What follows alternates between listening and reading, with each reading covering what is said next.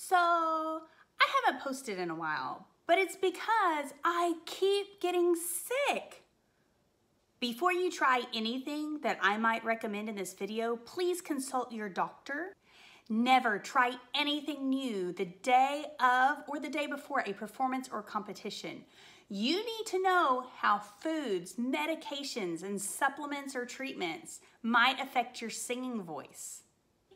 It's never a good idea to sing for an audition when you are sick. If there's any way you can change that audition time, I would highly recommend it.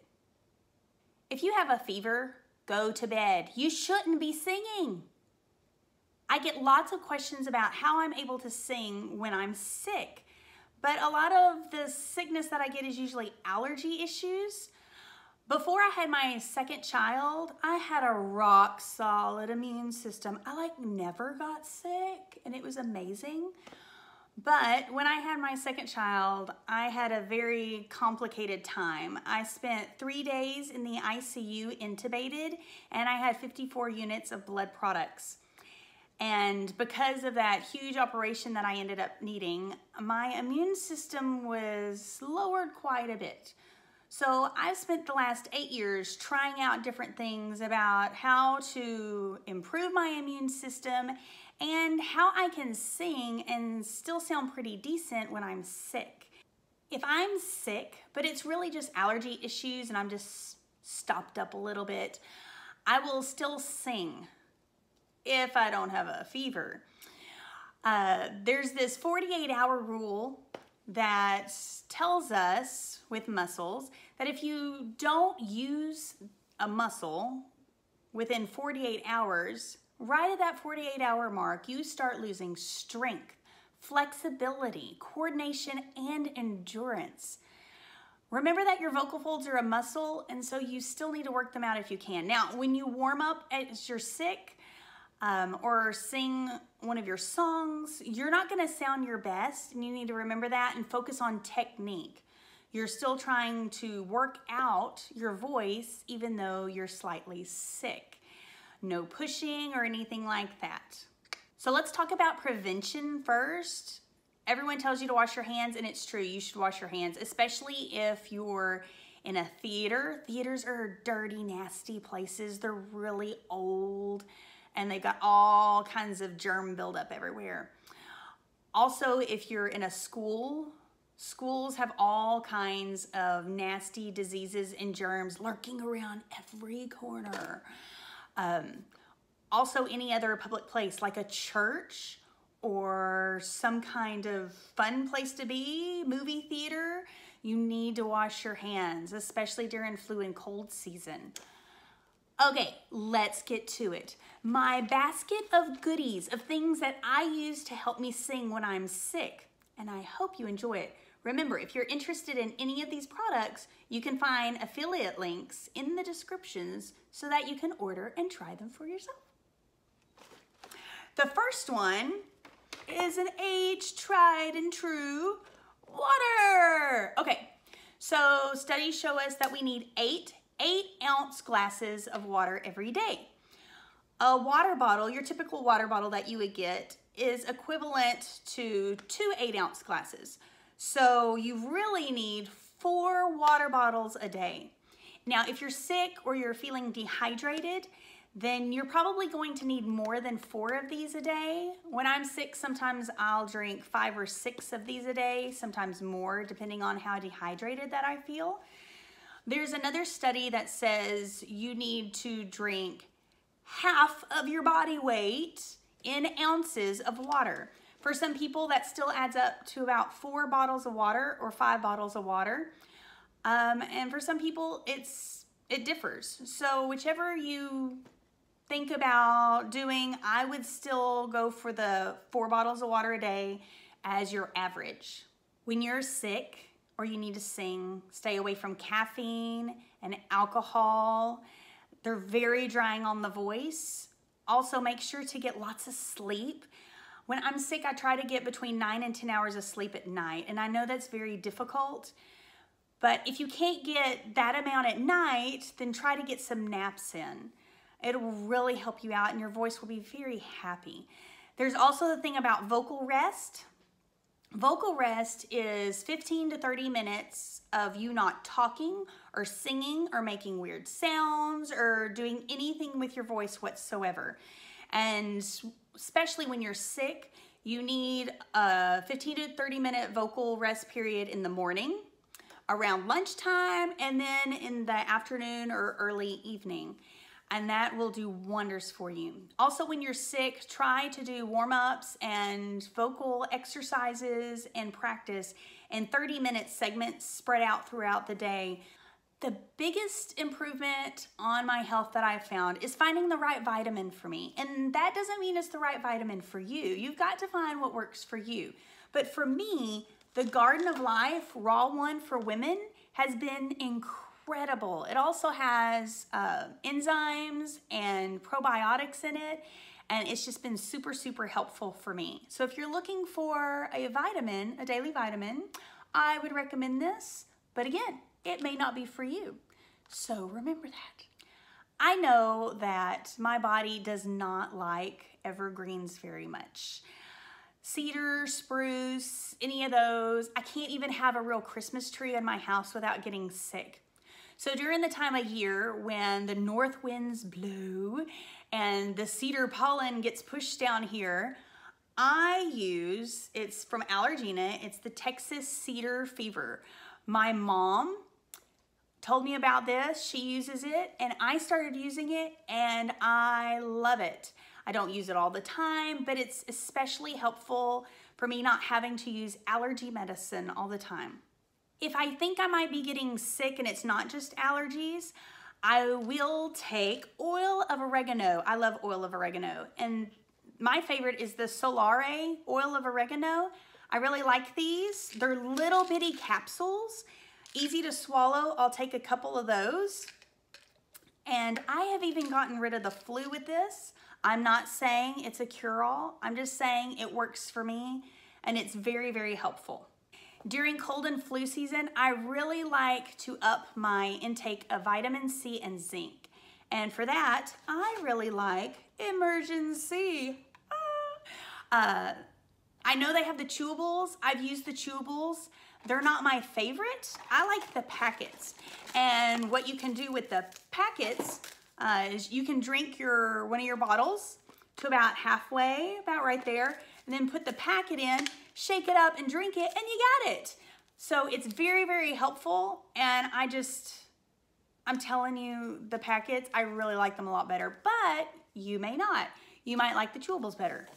When I am having allergy issues and nothing else seems to be helping, I do use Allegra. It seems to be less drying for me than the other allergy medicines out there. I don't like to take it all the time because it is an allergy medicine and it is drying but it's the one that I seem to be able to take and I can still sing all my high notes and even all my low notes if I need them. So Allegra is my go-to. But I don't get the Allegra D, um, and I'll talk about that later.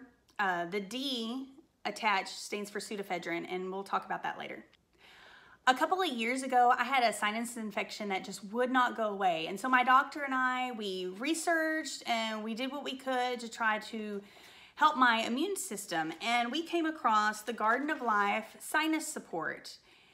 And for me, it is amazing. It is truly, truly helpful. I started taking it again here recently when I kept getting sick, and it has helped me immensely. Now, when my head is full of snot and my sinus cavities are full, it's really hard to sing. If you think about what you need when you sing, yes, you need your vocal folds. That's super important. Yeah. But your nasal cavity is where a lot of your resonance comes from. And so if it's clogged up with snot, you're not going to be able to send your sound into your sinus cavity bounce it around and send it out to your audience. And to clear out your nasal cavity, there's the wonderful NeilMed nasal rinse. This is my favorite. I've tried other ones where you tilt your head and do other things, but this is my favorite. It's in a bottle and you have the packets that come with it. Okay, you fill the water up to the line, warm water, not from the tap, not from your faucet, um, but distilled or bottled water. And then you put the packet in, shake it up. You put it up one side of your nose and you squeeze and stuff comes out. And then you put it up the other side of your nose and you squeeze and stuff comes out. And then you can breathe. It's amazing. I love it. And you can do it a few times a day, especially if you're super stopped up. And it has saved me several times. So I'm very thankful for this bottle. I like it. When my ears are clogged and I'm just full of snot and I can't seem to get rid of it, I really like taking Mucinex DM. Um, Mucinex DM, the DM is the cough suppressant part because we really don't want to cough. Now there are times where you've got to cough stuff up if it's getting into your lungs. But for the most part as singers, we don't want to cough. Um, so Mucinex DM, I really like it. It really helps clear out my ears. If my throat is also scratchy, on the other hand, I will use Robitussin DM. It helps soothe my throat. It'll coat my throat and I love it. I've used it in shows before when my throat was just really sore and I didn't know exactly what to do, but I would use this. They're basically the same thing. One is in pill form and one is liquid and you can get Robitussin in pill form as well, but I prefer the Robitussin liquid even though it doesn't taste very good and I prefer the Mucinex DM in pill form and links to those are in the description. So the last show that I was in, I had tonsillitis and I thought, who, what adult gets tonsillitis? But I did and my throat would just burn sometimes. My doctor told me to try this. It is Dr. Tichenor's peppermint mouthwash, antiseptic mouthwash. It's very concentrated, very concentrated. You only put like a little bit in at the top. Do what the instructions say. Um, fill the top up with water, put it in your mouth, gargle, and then spit it out. And it is so helpful. I would go almost immediately from sounding very hoarse and couldn't talk to I would gargle this and I would sound normal and it was, it was truly amazing. I don't know if it will always work, but I am keeping this in my medicine cabinet and I will be using this in the future. I really like this stuff. A lot of my theater friends and singer friends swear by this stuff. It's called throat coat and you'll probably hear about it a lot. Um, I've never actually used it in a show. I finally decided after the last show I was in that I would get it and try it out. I've tried it a few times. I haven't had any adverse reaction to it. It's a tea. It tastes like black licorice, so it's not bad.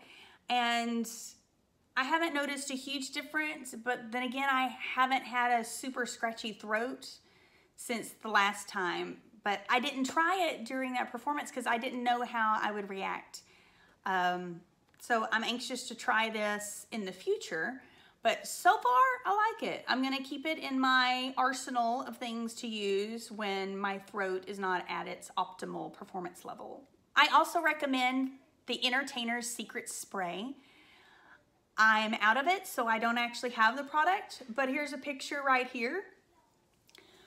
I was once singing with a chorus, the Beethoven's Ninth, and I'm a high soprano, so I was singing the top, and during some of the rehearsals, I was getting very fatigued, but this stuff really helped me out. You sing, ah, and spray it in, and it really gives you some instant hydration and will really help you out. Cough drops. There are a lot of cough drops out there, and these are my favorite, the Ricola Cherry Honey. I like them so, so, so, so much. So the only ones I get, I stock up on them all the time. I always have one in my purse, uh, just in case my throat gets a little wore out.